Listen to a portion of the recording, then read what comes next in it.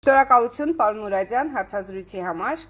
Մենք վաղուց էինք նախատեսում այս հարցազրույցը, բայց դուք շատ զբաղված էիք եւ բնականաբար բժիշկները մեր օրերում ամենազբաղված ամենակարևոր գործն են անում։ Պարոն Մուրադյան, այսօր մենք ունենք մի փոքր քիչ թվեր։ 330 հիվանդ, փաստորեն 1133 տեստից։ Օրեր շարունակ 600, 700, 500 շատ բարձր թվեր էին եւ թվում էր, որ արդեն մոտենում ենք այն պիկին, որից հետո կարող է սկսել նվազումը։ Ինչպիսին է գնահատում այս փուլում հիվանդության COVID-19-ի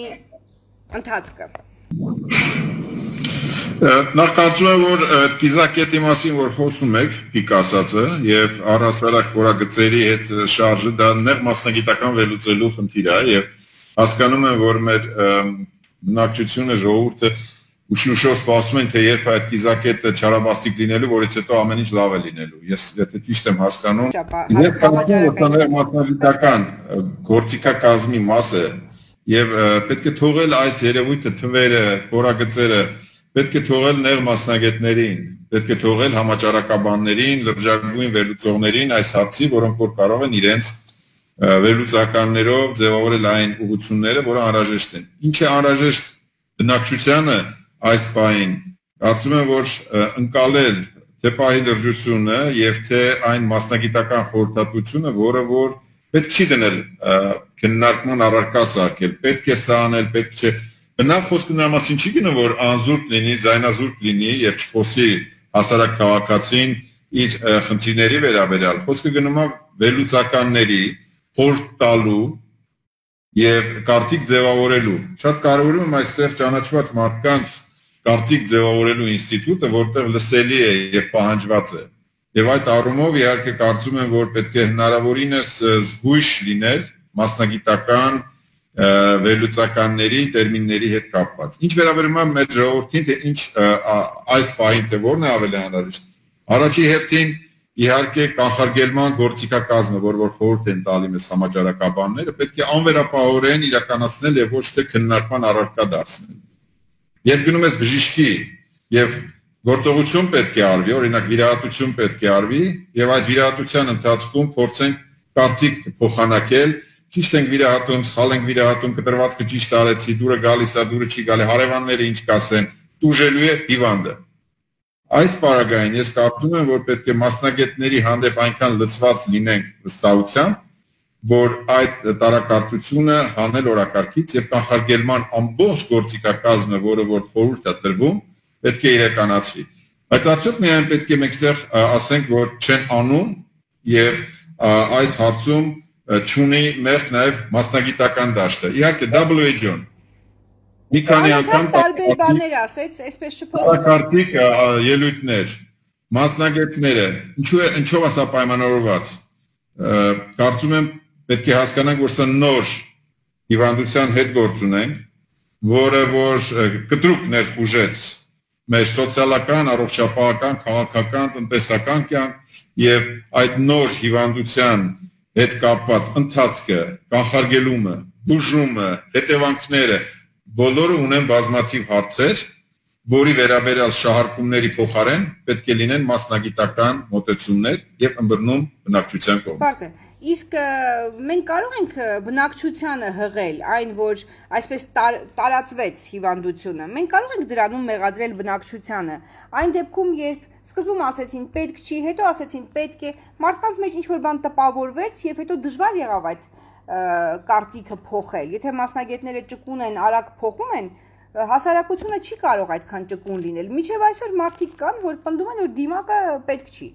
որովհետև լսել են այդպիսի կարծիք արդեն պաշտոնյաներից, բժիշկներից, բայց եւ մեղադ Մենակ ալարկոտը ուրեմն մեղադրանքներից ծերծ ամնում, ինչպես ասում են։ Ես կարծում եմ, որ այս պահին դժվար չի քննադատելը։ Այս պահին դժվար է հստակ ձևակերպել աշխատանքի բնույթը եւ իրականացնել դա սա ավելի դժվար է եւ սուր անհրաժեշտություն է այնպես որ այս պահին քննադատելը ինչպես նաեւ դակնիների ուրեմն հեղինակության առաջնայինությունը քննարկելը կարծում եմ որ բնավ ժամանակավրեպ է եւ օր կգա եւ առաջինը եւ երկրորդը կլինի եւ քննադատությունը կլինի եւ փարկուպատիվը կլինի այս պահին աշխատանքի սուր անհրաժեշտություն կա եւ ես տեսնում եմ պրոֆեսիոնալ աշխատանքի անհրաժեշտություն այստեղ պրոֆեսիոնալիզմի մասին է խոսքը գնում այո եղել են տարաբնույթ պրոֆեսիոնալների կողմից կարծիքներ որը եւ բերել են որպես հետևանք ալիքաձև բնակչության մեջ տարակարծության այդպես է պետք է լիներ եւ այն կազմակերպությունները հզոր հերինակավոր միջազգային, որոնք որ տարակարծություն էին ձևավորում, պետք է հասկանային, որ դա բերելու է նրանց հեղինակության նվազման հետևանքով նաև տարակարծության ոչ պրոֆեսիոնալների մեջ, որովհետև եթե միջև այդ ասում ենք WGN խորհուրդը տալը այսպես, կարծում եմ, որ շատ ավելի քիչ էր այն զանգվածը, որը որ փորձում էր քննարկման առարկա սարքել միջազգային հեղինակավոր կառույցի կարծիքը։ Այս բանը երբ մի քանի անգամ տարաբնույթ բացատրություններ եղան, իհարկե նաև իրենից բխող եւ իրեն հետևանք որպես հասարակական ալիքաձև այդպիսի մոտեցում պետք է առաջանար։ Այնպես որ նորից ու նորից գտնում եմ որ դաշտը պետք է մնա պրոֆեսիոնալներին, անկամ եթե նրանք ունեցել են որոշակի տարաբնույթ բացատրություններ։ Պարոն Մուրադյան, եւ հիմա անցնենք պրոֆեսիոնալներին։ Մենք սկզբում այսպես կենտրոնացանք, մի քանի հիվանդ ունեինք, մի քանի վարակակիր շատ կենտրոնացած էինք։ Այսօր մենք ունենք հազարավոր հիվանդներ եւ շատ մարդիկ, ովքեր տանն են բուժվում, ուղակի տանը թոքաբորբով ինքնուրույն բուժվում են։ Մարդիկ գտնում են իրենց իրենց համար ինչ որ խնամող բուժքույր, ով պետք է սրսկումներ կատարի եւ այլն, եւ մնում են տանը։ Այս փուլում մենք ունենք արդյոք առողջապահական խնդիր առողջապահական մատչելիությունը համավարակի պայմաններում ապրող բնակչության համար Ես կարծում եմ, որ շատերի կարծիքով առողջապահությունն այսօր մատչելի չէ մարդկանց։ Ձեր կարծիքը։ Ես ճիշտ հասկացա հարցը խոսքը գնում է ոչ թե մատչելիության, այլ հասանելիության մասին, սա տարբերություններ է։ Մատչելի հասանելի։ Բայց այն ամենին մատչելիության վերաբերյալ ուզեմ։ Ուղղակի հասանելի չէ, այո։ Բակե ջան, ես կուզենայի նաև եւ մատչելիության մասին խոսել, եւ հասանելիության մասին խոսել, որովհետեւ այն դեպքերը, որոնք որ պետք է այո տանը բուժվեն, նրանք չպետք է գան հիվանդանոցային ուրեմն զորությունները զբաղեցնելու։ Եվ այդ շեմը պետք է շատ հստակ երևա, որ ամբուլատոր դաշտում, այսինքն այն հատվածը, որը որ պետք է տնային պայմաններում բուժում ստանա, նրանք ուրեմն չպետք է լինեն հիվանդանոցային պայմաններում։ Բոլոր տեսանկյուններից դա ճիշտ է։ Առաջի հերթին հիվանդանոցային վարակների տարածվածության դրանից ելնելով։ Երկրորդը, որ այդ հզորությունները նպատակային ծառայեն նրանց, ովքեր կարիք ունեն իրականում հիվանդանոցային արդեն բուժման կարիք ունեն։ Այնտեղ հստակ շատ հստակ ցուցանիշ է։ Մարդը թոքաբորբով տանը բուժվում է։ Միակողմանի թոքաբորբը վերածվում է երկկողմանի թոքաբորբի, դեռ տանը բուժվում է։ Այսինքն որտեղ է այդ սահմանը եւ երբ պետք է մարդուն պրոֆեսիոնալ հիվանդանոցային այդ այդ հարցը երկար քննարկվելուց հետո կարծում եմ այնուամենայնիվ շատ հստակ մոտեցում ունի ջերմաստիճանի շեմերը ֆիքսելով, օրինակ 8.5 եւ բարձր ջերմով հիվանդները, որոնք ունեն դժվար շնչություն, որոնք ունեն թթվածնի հագեցվածության խնդիր, սատուրացիայի նվազ 93-ից ցածր է իջնում եւ մի շարք այլ հարցեր ի վերջո մարդիկ կարող են ունենալ նաեւ այլ սոմատիկ հիվանդություններ, որոնց վրա ուղղակի շերտով նստելու է կ ូវ իդով պայմանավորված թոքաբորբը եւ այդ առումով իհարկե ցաներ հիվանդները, որոնք կգնահատվեն բժշկի կողմից ըստ այդ ցուցանիշների, պետք է տեղափոխվեն հիվանդանոց։ Այլ հարցը թե երբ, երբ որ դեռևս դա զարգանում է այդ շեմը նոր զարգանում է եւ արդյունավետությունը շատ բարձր է լինելու, թե ուշացած դեպքերում։ Հիմա տեսեք, մենք քննարկում ենք օրեր առաջ, որ կան թոքաբորբեր, որոնք տալիս են բացասական, COVID բացասական։ Սակայն նույն միջազգային այդ բարձր հեղինակավոր կազմակերպությունը նրանց դիտարկումը մարտի 25-ից որպես COVID չիդենտիֆիկացված վիրուսով թոքաբոր, որը հավասարվում է COVID-ին, նրանից բխող բոլոր պարտադիր պայմանների, թե նրա համաճարակաբանական կանոններ պահպանելու, որը որ պետք է համապատասխան ուրեմն պաշտպանված լինեն պերսոնալը եւ կողքի հիվանդները, նրա մատչելիությունից, այստեղ խոսենք մատչելիությունից, որտեղ եթե նա թոքաբորբ է եւ COVID բացասական է, նա եթե վերակենդանացման բաժին չընդունվեց, վճարովի է ընդունվելու Իսկ սա արդեն խնդիր է, որովհետև այդ մարդը կարող է այդ բան չկարողանա վճարել եւ գնա իր համար շարունակի տանը, շարունակի բուժումը չնայած բժիշկները պնդում են, որ նա պետք է լինի հիվանդանոցային պայմաններում, բայց նա մաչելիությունից ելնելով չկարողանա բուժումը շարունակել Եվ արդեն հայտնվի շտապ օգնության մեքենայով երկու օր հետո երբ որ ավելի վատացած վիճակում կլինի եւ շատ ավելի դժվար երկով առաջի հերթին հիվանդի համար, երկրորդը շատ ավելի թանկ հիվանդանոցի համար, տարածի այդ ինֆեկցիան այդ երկու օրվա ընթացքում, այսինքն բացասական պատասխանը թոքաբորբի դեպքում դեռևս չի նշանակում, որ հասանելիությունը եւ մատչելիությունը պետք է փոխվեն։ Եվ սա խնդիր եմ տեսնում եւ մենք այս խնդրի վերաբերյալ տեղեկացրել ենք մեր գործընկերներին, որոնց հետ շատ ծերտ հիմա աշխատանք է գնում առողջապահության նախարարության մասնագետների։ Կարծում եմ, որ այդ աշխատանքի որպես արդյունք կարող է լինի փոփոխություն որ այդ հիվանդներին եւս դիտարկել թոքաբորբով հիվանդներին այս պահին եւ մոլեգնումը պանդեմիան աշխարհով մեկ եւ անմար չի մնացել Հայաստանը թոքաբորբով հիվանդներին անկախ տեսից եթե CT scan-ով կա համապատասխանապատկերը, որը որ շատ բնորոշ է COVID-ին, բայց այնուամենայնիվ չի եկել, վիրուսը չի իդենտիֆիկացվել, իրենք դա կախված է շատ հանգամանքներից դա կապված չի մակարդակից, որ Հայաստանում վատ կանեն, իսկ Գերմանիայում լավ կանեն։ Ասենք Տիկին Սուսանը վատ է անում մեր լաբորատորիայում, իսկ Ֆրաու Մարտան Բերլինում շարիտոյում լավ է անում։ Բացարձակ դրա հետ կապ չունի։ Դա ունի կապ նախ հենց նմուշարման գործընթացից սկսած, երբ պացիենտը պետք է 4 ժամ ոչ ծնունդ, ոչ համապատասխան խմիչք օգտագործած չլինի, դա կապված է նրա հետ թե ինչ փուլում է գտնում հիվանդությունը։ Եթե արդեն իջել է դեպի խորը թոքաբոր բրոնխեալվեոլար ձևն է, Բկանցից վերսած ցած զգայունություն է տալու, տալու է բացասական։ Մենք բաց ենք թողելու ի պահը եւ մաչելություն չտալով նաեւ հնարավորություն ենք տալու, որ տարածվի։ Այսինքն սա սկզբունքային հարց եմ այսօր տեսնում, որ հնարավոր է նշում բացասական դեպքերը թոքաբորբով հիվանդը, որը ունի CT scan-ով եւ կլինիկական պատկերով COVID կլինիկական պատկեր ունի, նա գնահատվի եւ բոլոր նրանից բխող պայմանները տեսանյութական թե մաչելիության պահպանվի։ Հասկանալի է։ Պարոն Մուրադյան, մասնագետների բազան։ Մենք արդյոք մեր ամբողջ ռեսուրսը բավարար օգտագործել ենք, մեր առողջապահական համակարգի ռեսուրսը ճիշտ է օգտագործվել ձեր կարծիքով որպես մասնագետ եւ որպես մասնագետների, այսպես մասնագետների հետ աշխատող, պատրաստող մարդ։ Տեսեք, կարող եմ ասել բժշկական համալսարանը որպես հաստատություն, որը որ պատրաստում է եւ նույն ժամանակ նաեւ հանդես է գալի որպես խոշոր օպերատոր բժշկական օգնության, եթե խոշոր հիվանդանոցների մասին է խոսքը գնում, Հերացի Մուրացյան եւ Միքայելյան, որը Երևան քաղաքում կազմում է բավականին լուրջ մահճակալային ֆոնդ եւ հնարավոր ռեսուրս։ Ավել դերևս ունեմ տվյալներ, որ որովհետեւ կարծիք հայտնեմ, որ բժիշկների ռեեստրը ոչ ընդհանուր մահճակալային ֆոնդը, սակայն որ մենք կարողանում ենք դերևս կիզակետը հնարավորինս կորագիծը ճկել որ չբերի կոլապտոիդ վիճակի, դեռևս այդպես է հիվանդանոցային ցանցը, համենայն դեպս համասարանական հիվանդանոցային ցանցը կարողան կարողանում է դեռևս ընդդիմակայել այս մարտահրավերին։ Այս պահին մենակ հերացի հիվանդանոցում այսօր 59 թոքաբորբով հիվանդ ունեն, որից 18-ի մոտ է հաստատվել իդը, բայց մենք իրենց նմուշարել ենք, պատրաստել ենք որպես հնարավոր տեղափոխման, եթե լինի հնարավորություն տեղափոխելու, սակայն դերևս բուժվում են մեզ մոտ, դա խոսում են մասին, որ դերևս այնտեղ տեղ չկա, որ իրենց տեղափոխեն։ Դա չի նշանակում, որ իրանք բաց ազատ բաժիններում շարունակում են իրենց բուժումը։ Հիվանդանոցային ցանցը դիվերսիֆիկացված է,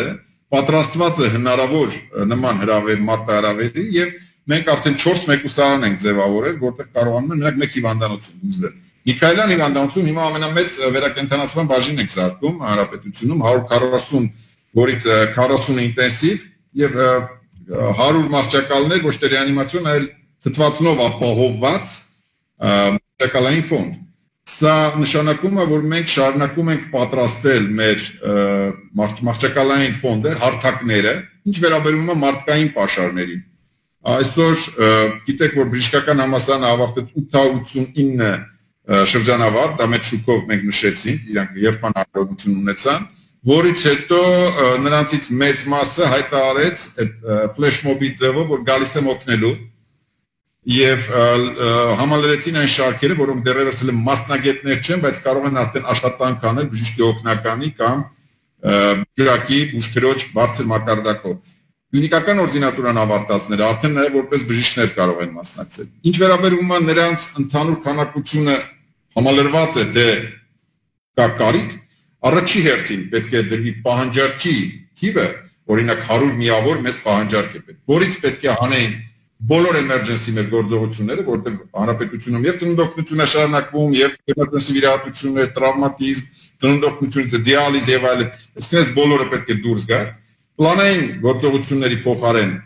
մասնագետները հաշվեն եւ այն բացը, որը որ կմներ, դա կլիներ մեր կարիքը արդեն։ Պահանջարկից բխող կարիք կձևավորվի։ Հիմա այս պահին ես չեմ տեսնում, որ այդպես սուր կանգնածա, որ չի հերիքում բուժանձնակազմը կամ հարթակները։ Մենք կարողանում ենք բավարարել ամենայնպես մեր հիվանդանոցներում եւ շրջանավարտները, որոնք այս տարի համալրեցին, կարծում եմ, որ եւս ելի կարողանան որոշ չափով պահել։ Ինչքանով այդ կորագիծը հնարավոր կլինի ճկել, որ կտրուկ չլինի, պահանջարկը կտրուկ չթռնի։ Ինչքանով մեծ հնարավորություն կլինի, ասենք, զսպող գործիքը մի ձեռքը զսպելու է, այդ զսպող մեխանիզմները պետք է անցնի մեկ ձեռքով համաճարակաբանական գործընթացները հակա համաճարակաբանական։ Իսկ մյուս ձեռքը պետք է անի բուժական աշխատանքները։ Ինչքան այս ձեռքը էֆեկտիվ աշխատի, այնքան ուրեմն այս ձեռքով հեշտ է լինելու ռեսուրսները ավելի մեր մոտ լինելու են ոնց որ պահպանված, որ մենք կարողանանք ավելի էֆեկտիվ բուժում իրականացնել այդ համալիրի համալիրում երբ պատրաստում էին հիվանդների համար տարածքը դա շատ այսպես վախեցնող էր, հասարակությունը անհանգստացավ։ Ինչ է կարծում, դրա անհրաժեշտությունը կառաջանա, թե մեր հիվանդանոցային ցանցը այդուամենայնիվ կարիք չի ունենա նման աջակցության։ Նախ ուզում եմ վախի մասին ասել, որ վախը հաստատ չի նպաստելու այս խնդրի լուծմանը եւ ինչքան վախը շատ տարածեն, այդքան ավելի իմունային համակարգը ընկճվելու է եւ ավելի շատ հիվանդներ ենք ունենալու եւ ընկճված բնակչություն։ Այդ բանին զգուշությունը բնավ չի պետք չի խառնել վախի հետ։ Ես կարծում եմ, որ զգուշությունը պետք է բարձրացնել ամենաբարձր մակարդակի վրա, բայց այդ շեմը, որից հետո սկսում է վախի մտնոլորտը, երբեք չտարածը։ Այնպես որ այդպիսի պատկերներ տարածողները պետք է հասկանան, եթե անհրաժեշտությունը կար դա ցույց տալու եւ մենք արդեն անհրաժեշտության շեմին ենք, թող ցույց տային։ Եթե անհրաժեշտությունը չկար, իմաստը այդ պատկերները այդպես տարածելու, հիվանդանոցները դեռևս կարողանում են ապահովել իրենց հարթակներում ամբողջ ծավալով բուժօգնությունը։ Եթե անհրաժեշտություն լինի մոբիլ հիվանդանոցներ, ուրեմն ձևավորելու կամ այն ծրագրերը, որոնք որ պատրաստված չեն, բայց կարող են վերապատրաստվել հիվանդանոցայինի համար, կարծում եմ որ դրա մասին կհայտարարեն, որ մենք սպառել ենք ամբողջ հիվանդանոցային ֆոնդը եւ հիմա գնում ենք մոբիլ հիվանդանոցների կամ սրահների, որոնք վերաձևակերպել են որպես հիվանդանոցային օգնություն։ Կարծում եմ, որ եւս այստեղ էլ կա այդ փոքրիկ երանգը կա, որով որ այդ լարվածությունը վախի ձևավորելով խանգարում է այն ձախ ձեռի աշխատանքին զսպող աշխատանքներին, ինչքան նաև խանգարում է աջ ձեռի բուժական աշխատանքներին։ Պետք է չի անտեղի մարդկանց վախեցնել, պետք է զգուշությունը հեղինակավոր կերպով պրոֆեսիոնալ ներկայացնել ազնիվ բացարձակ ազնիվ եւ կոնստրուկտիվ լինել եւ լսել միայն պաշտոնական լրատվությանը։ Պարոն Մուրադյան, այդուամենայնիվ մենք չենք կարող չարձանագրել, որ առաջին հիվանդության առաջին փուլում իշխանությունների կողմից իրականացված քայլերը, այսպես շատ նկատելի, այսպես կոնտակտավորներին ծաղկաձոր տեղափոխելը եւ այլն ամեն ինչ կարծես Այս փուլում, երբ մենք ունենք ավելի շատ հիվանդներ, ինչ որ մի բան այնպես չի գնում, որի պատճառով մենք չկարողացանք լինել այնքան հաջողակ այս հակահամաճարակային միջոցառումներում, ինչպես մեր հարևանները։ Այսինքն մեզ մոտ այս թվերը ցույց է տալիս, որ սկզբի այդ հուշկու գործողություններին հաջորդեցին շատ թույլ գործողություններ, վախի այդ նկարները մի կողմ։ Եվ մենք այսօր ունենք պատկեր, որը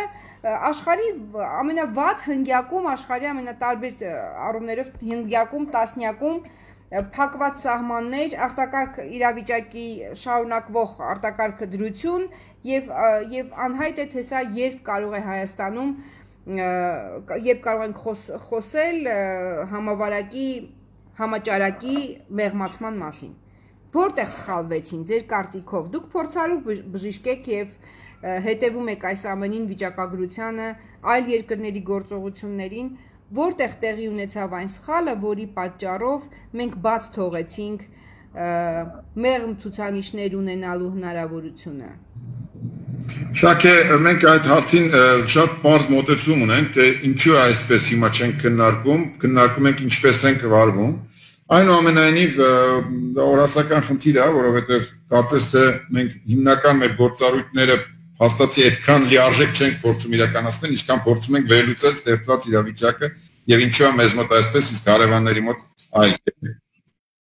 Ես կարծում եմ, որ սա մասնագիտական հարց է լինելու, որը պետք է անպայման խորը անալիտիկ աշխատանք արվի եւ ինչքան ինչքան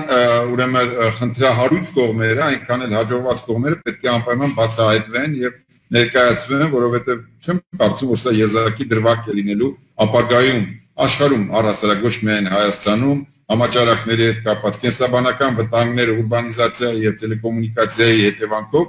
բավական լարված մտնոլորտ են ձևավորում։ Իսկ ինչ խնդիր է եղել, ինչ էլ հիմա ասեն, կարծում եմ, որ այդ բոլորը հետագայում եւ վերանայվելու են այդ բոլոր երևույթները եւ հեղինակներն են լինելու տարբեր։ Այնպես որ անշնորհակալ գործ է այս պահին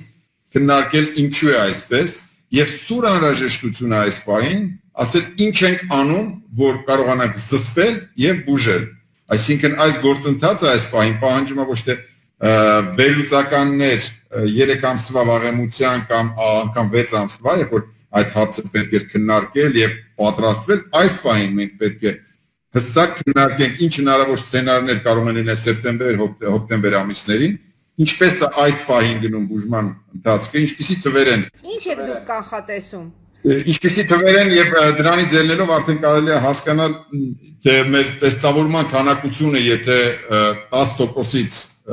չկարողանանք նվազեցնել ընդհանուր մեր քանակության մեջ հայտնաբերվածությունը ոչ թե թիրախային խմբերը միայն տեստավորեն,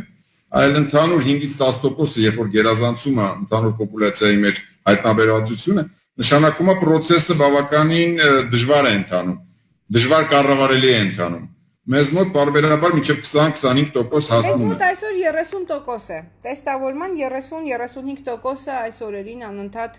Դե քիչ տեսնել եթե անեն, թիրախային խմբերի եթե անեն, իհարկե կլինի բարձր տոկոսը։ Կարծում եմ, որ ավելի լայն խմբերի ավելի շատ է պետք անել, որի որի հետևանքով երբ որ մեր մոտ արդեն 5-ից 10% կկազմի, մենք կարող ենք ենթադրել, որ հայտնաբերվածությունը մեր մոտ սկսում է ավելի վերահսկելի process-ի ձևավորվել դեպի։ Դա առաջի մասն է, ձախ ձեռքի աշխատանքներ։ Աջ ձեռքի բուժական աշխատանքները պետք է անդադար հզորությունները ավելացվեն, մենք չենք կարող անverջ դա անել, բայց անդադար այս պահին պարտավոր ենք անել, որովհետև process-ը պահանջելու է օր առաջ պատրաստ լինել ավելի մեծ ծավալների եւ թող դա պետք չլինի, բայց մենք պետք է պատրաստ լինենք։ Իսկ զսպման մեխանիզմները պետք է լինեն իմ կարծիքով ավելի բարձր մեծ քանակությամբ տեստավորման հետ կապված եւ ավելի բարձր այդ տարածվածության մեխանիզմներին հակազդող գործիքակազմ կիրառելով։ Խոսքը գնում է սկսած դիմակներից մինչև այլ տեսակի համաճարակաբանական նորմերը, որոնք որ մի փոքր դժվար է դեռևս մենտալ աշխարհում, երբ որ երկար է տևում, երբ որ մի շաբաթ է դա։ Ինչ չափով մերվում ես։ Երբ որ ասում են, որ պետք է սա լինի եւ կարող է եւս երկար լինի, այդ սրտանեղությունը բերում է նրան, որ շատ անգամ այդ կանոնները խախտվում են։ Եվ այն մարդիկ, որոնք խախտում են եւ հեգնանքով են վերաբերում այս հիվանդությանը, ավել ասեմ, ժխտողականությամբ են վերաբերում այս հիվանդությանը, նրանք ոչ միայն իրենց են ենթարկում եւ ավաղ նաեւ հայտնվում են այդ ոչ լավ վիճակում, այլ նաեւ փորձում են տարածել հանրամատչելի ձևով տարածել թե ինչքան է կեղծ խիզախությունը իրանց համար անտեսելով կարողանում են իրանց կենցաղային առօրյան հնին վերածել։ Դեռևս հնի վերածելու մասին մենք չենք խոսելու։ Ես համոզված եմ, որ մենք հաղթահարելու ենք շակե։ Ես համոզված եմ, որ սա տևականա լինելու եւ պահանջելու է գերմոբիլիզացված գիտակցային մոտեցում բոլորի ոչ միայն պրոֆեսիոնալների բուժական մեթոդները պրոֆեսիոնալներին են զերծման մեթոդները այսինքն իրանց զսպման պրոֆեսիոնալներին են իրականացումը եւ առաջի դեպքում եւ երկրորդ դեպքում անհնար է չանել միասին պրոֆեսիոնալները պետք է ասեն եւ իրար հետ պետք է իրականացնենք։ Այն բայց այս մեծ թվերը եկան տանուլ ենք տալու։ Այս մեծ թվերի մենք ունեցանք այն բանից հետո, երբ բացեցին թույլ տվեցին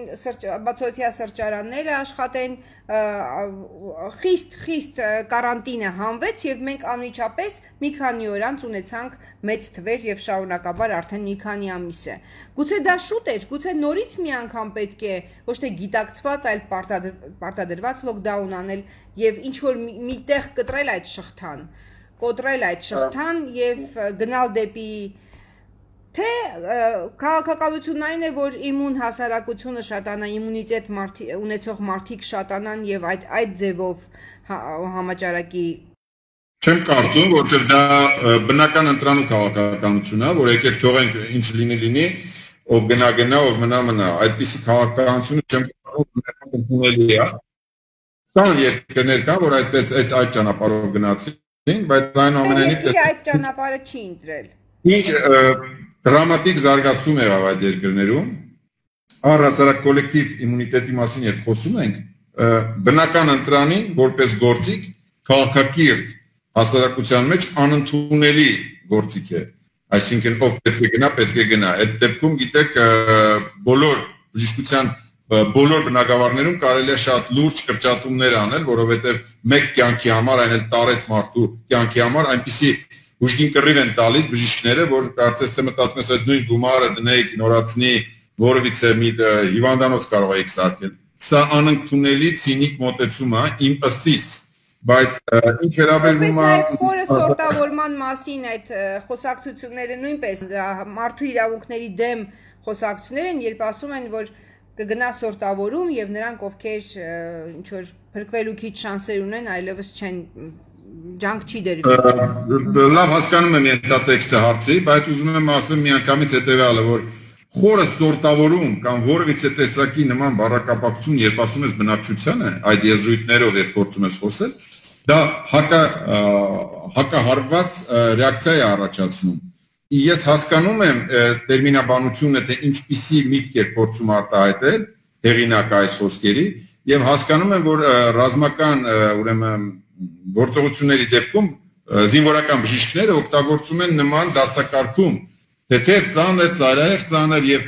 գտնում են նպատակահարմար օգնել ոչ թե ծայրահեղ ծանր հիվանդներին, վիրավորներին, այլ միջին ծանրության եւ ինքս ներկայ եմ եղել երկրաշարժի ժամանակ եւ Լենինգրադից այն ժամանակվա այդ ակադեմիայից եկած զինվորական բժիշկները այդպես էլ օգնում էին միջին ծանրության հիվանդներին, որտեղ համարում էին, որ կարող է ծայրահեղ ծանր դառնա այդ միջին ծանրությունը դառնա ծայրահեղ ծանր։ Սա բժշկական գործընթաց է եւ ոչ բոլոր բժշկական գործընթացները պետք է նման սուր մի քիչ դժվար ընկալելի, ոչ բարեհմշ ձևով ընկալելի, պետք է ներկայացնել բնակչության այնել նման բառակապակցություն։ Այնպես որ այստեղ ես տեսնում եմ գործընթաց, եւ թուրը բռնում եւ թուր ձևակերպում հարցի վերաբերյալ։ Ինչ վերաբերում է լոկդաունի, եւս մասնագիտական հարց է այստեղ։ Գիտեք հիմա բոլորը ով չի ալարում խոսում է նորից անել լոկդաուն, նորից չան մասնագիտական հաշվարկի հարց կա եւ վերջապես այդտեղ հստակ ցուցանիշներ կան կրկնապատկվածների թիվը, օրերի քանակությունը, կորի բարձրացումը, այսինքն մասնագիտական դաշտի արդյունքում կարող են դուրս գալ այդ հարցի վրա։ Լոկդաուն անել ընդհանուր, լոկդաուն անել կլաստերային լոկդաուն անել, ասենք ռեգիոնալ,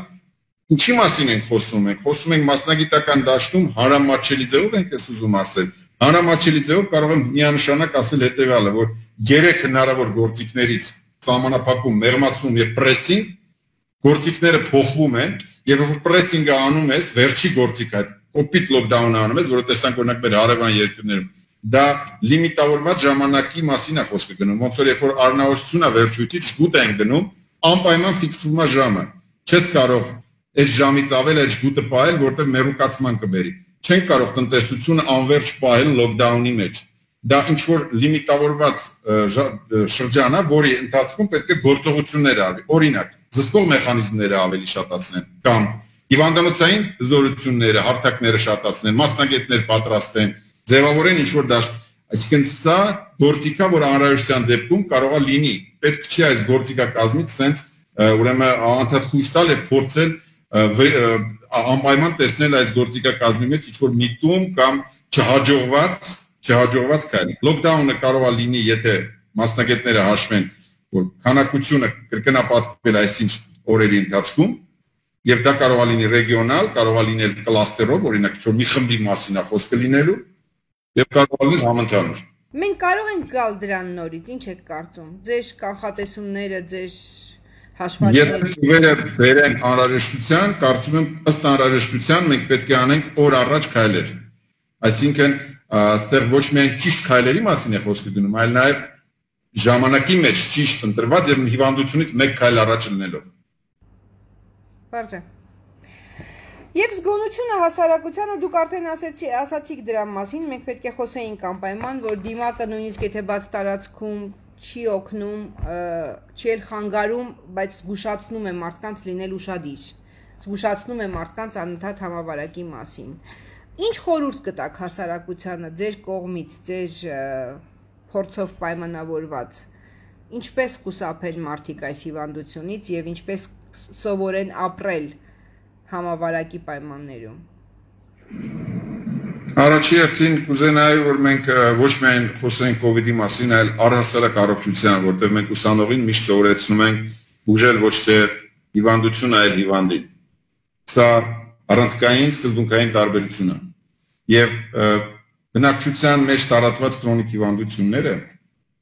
իմ կարծիքով, երբ որ սա տևական է դառնում արդեն ամիսներ է տևում եւ կարողա դեռևս տևի, եւ մենք պետք է սովորենք, որ ասում ենք պետք է սովորենք իդի հետ ապրել, Դա չի նշանակում միայն սիմվոլիզմ, որ մենք պետք է սովորենք դիմակ գրել եւ իրար հնարավորինս ձեռքով չբարևել կամ այդ գլխախառը կեցվածքից զերծ մնալ։ Սա նշանակում է, որ քրոնիկ հիվանդությունները, որը որ բաց են մնացել այս ամիսներին, երբ որ մենք սևեռել ենք COVID-ի հետ կապված, այս քրոնիկ հիվանդությունները Կարծես ուրիշ հիվանդություն չկա այլևս։ Միայն Այո, ամիսներ հետո ավելի բարթացած մանիֆեստացիայով, դրսևորումով ի հայտ են գալու եւ մենք ունենալու ենք շատ ավելի բարդ վիճակ, այնպես որ ես կարծում եմ այսօր շատ մոբիլիզացված մոտեցում պետք է լինի ոչ միայն հիվանդանոցային բժիշկների, այլ նաև ամբուլատոր սեկտորը, որը պետք է անպայման զբաղվի քրոնիկ հիվանդներով, ինչպես նաև բնակչությունը, որը այսպես բարձր գնահատում է առողջության հետ կապված բոլոր հարցերը, բժիշկներին այսպես կարելի ասել աննախադեպ մեծարման օրեր եւ ամիսներ են կանցնում, վերագնահատում են բժիշկի տերը եւ տեղն ու դերը։ Այնուամենայնիվ առողջության վերաբերյալ պետք է լինի այլ մոտեցումներ այս պահից սկսած, նոր մոտեցումներ, որ իդը դա վերջի հնարավոր վիրուսը չի սա մեկ եւ առհասարակ կան հիվանդություններ, որոնք որ չի կարելի բացի թողի անցկացնել եւ ստանալ շատ ավելի լուրջ քիրուրգիական, դժվար, հաշմանդամացնող եւ անգամ կյանքին վտակ սպառնացող վիճակներ եւ իհարկե առողջությունը, որը տրված է ծնողներից իծներ ստանում է գնահատում է այն պայից սկսած երբ որ նա կարծես թե կամ վտանգում է կամ այնքան մոտիկ է վտանգները որ թակում է դուրը այդ պայից սկսած առողջությանը սկսում ես այլ կերպ մտածել սա նաև վերաբերում է հենց իդին որ ժխտողներին ժխտողականություն տարածողներին ահուսարսափ տարածողներին որոնք որ պետք է մի փոքր ավելի վերապահումով եւ ավելի զգույշ խոսեն ես որդորում եմ առհասարակ առողջությունը գնահատել որպես բացառիկ արժեք որը պետք է ամեն օր կարողանաս կերտել, պահպանել։ Ես կանխատեսում եմ, որ լավ է լինելու, առողջ եղեք, լավ է լինելու հաղթելու ենք։